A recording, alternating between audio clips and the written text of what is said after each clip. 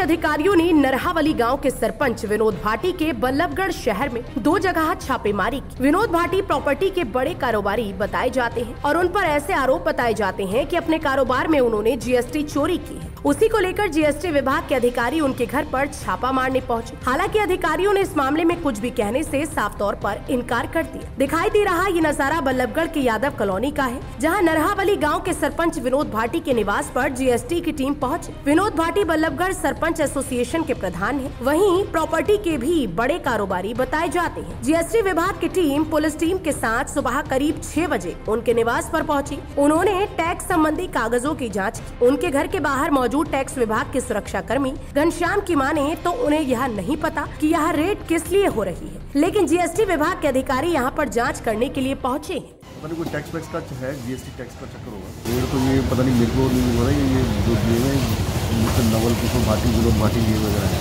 मेरे को ज़्यादा इन्फॉर्मेशन नहीं है, ज़्यादा इन्फॉर्मेशन तो हमारे ऑफिसर्स को होंगी जो अंदर ऑफिसर ऑफिसर बैठे हैं।